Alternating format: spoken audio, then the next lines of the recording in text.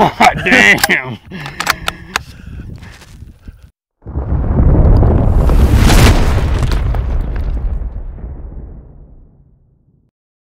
Welcome back to Final Trace Outdoors. So today we're going to be testing the Silencer Central Banish 30. I've had it for about a year, eight, nine months maybe. Used it for deer season and coyote thermal season. And I'm just curious on how much it actually quiets the noise. So we're to rip three rounds with the suppressor on, and then we're to rip three rounds with the suppressor off. And we're going to use this Decibel X meter that's just on the iPhone. So it's not super scientific, but it'll give us a rough idea of what's going on. So stay tuned.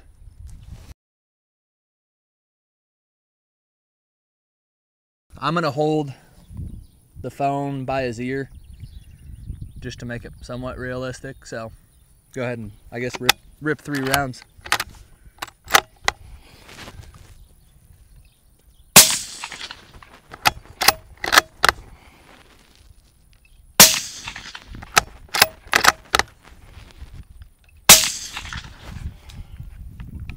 All right, so it says the max was 105.4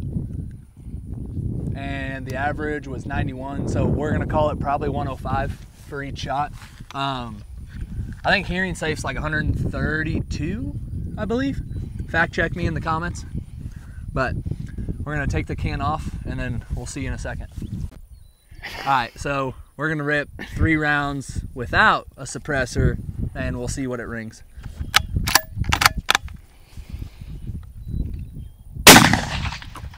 God damn.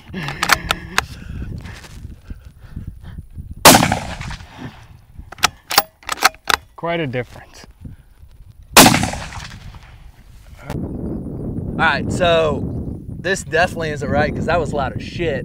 and we forgot to bring actual ear protection. But anyways, this is saying the max was 114, which there's no. I feel like that's not right. I think Silencer Central says these will bring it down like 30 decibels. So that's not 30 decibels. Yeah, from point of view, I can't hear anything now, so. Yeah. Anyways, I would say that can works. Um, Silencer Central, Banish 30. It's got the sleeve on it. It works pretty good. We- Recommend. Yeah, recommend it. We used it for coyote thermal, and you could literally hear the hits on the coyotes. So it was pretty sweet. Anyways, thanks for watching and stay tuned for a 22 video.